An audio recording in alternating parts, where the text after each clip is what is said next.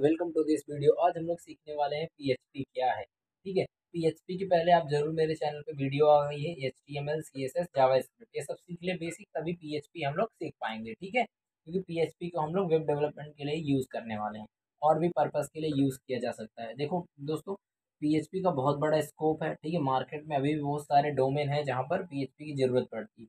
तो पी की जब भी कोड लिखेंगे डॉट पीएचपी करके बनाएँगे, एक सर्वर साइड स्क्रिप्टिंग के लिए लैंग्वेज यूज़ की जाती है।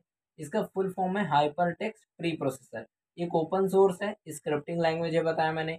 स्क्रिप्ट का जो एक्सटेंशन हो or extension on the server ठीक है? ये जो एग्जीक्यूट होते हैं एक्सटेंशन तो ये है, ये एग्जीक्यूट जो होते हैं सर्वर पे होते हैं और plain S T M L generate करते हैं, ठीक है? Using P H P C S S और जावा स्क्रिप्ट ये फ्री टू यूज़ है फ्री टू डाउनलोड है, ठीक है? चलिए, अब इसमें हम लोग देखते हैं कैसे हम लोग पीएचपी को डिक्लेयर करते हैं और कैसे हम लोग इसको प्रिंट करते हैं, अगर हमें कुछ करना होगा तो। ठीक है? चलिए, देखते हैं। ठीक है, मान लिया हमें पीएचपी बनाना है तो डॉट पीएचपी का फ़ाइल नाम हम दे देंगे इसको। ठीक है?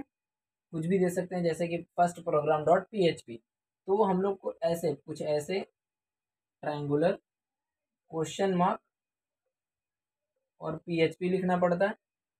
क्वेश्चन मार्क इससे एंड करना पड़ता है, इसके अंदर हमें लिखा जाता है। तो ये दो चीज़ को याद रखो, कंपलसरी है, यहाँ पर स्टार्टिंग में पीएचपी लिखा जाता है, ठीक है।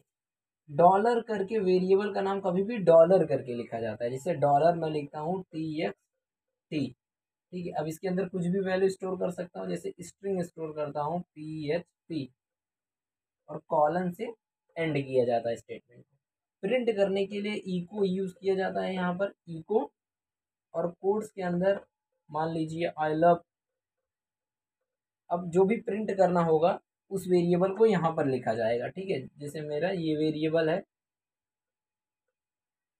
तो टेक्स्ट और ये सब पूरा कोड्स के अंदर, और एक कॉलन ठीक है? तो आपको क्या होगा, यहाँ पर प्रिंट करके आ जाएगा आई लव और ये इसके अंदर क्या स्टोर है? पीएचपी तो इसका आंसर हो जाएगा आई लव पीएचपी तो आज के वीडियो में दोस्तों हमने सीखा पीएचपी क्या है और पीएचपी को कहाँ लिखते हैं वेरिएबल कैसे डिक्लेयर करते हैं प्रिंट कैसे करते हैं, ठीक है? साथ साथ में हमने चीज़ें, तीन चीज़ें सीख ली, ठीक है? चलिए वीडियो को सब्सक्राइब हमारे चैनल को सब्सक्राइब करें, वीडियो को लाइक करें, कुछ डाउट है तो कॉमेंट भी कर दें। चलिए मिलते हैं नेक्स्ट वीडियो में।